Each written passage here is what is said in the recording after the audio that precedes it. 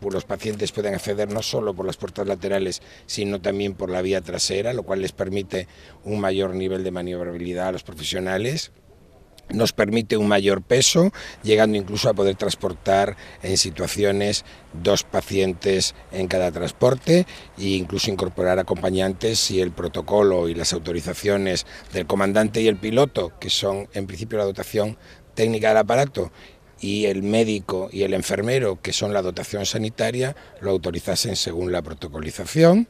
Decirles que los aparatos vienen dotados con la última tecnología a nivel médico, que en, él en ellos se puede trabajar prácticamente como en una UCI hospitalaria. Eh, ese equipamiento en la línea de lo que está trabajando el SUC, el Servicio de Urgencias Canario, está conectado con descarga información directamente a la mesa de coordinación y eso le permite al médico tener al médico y al sanitario, al enfermero tener una información en el transporte que le ayude. Eh, decirles también que incorpora lógicamente para cuestiones de niños, neonatos y demás una incubadora de transporte con respiración asistida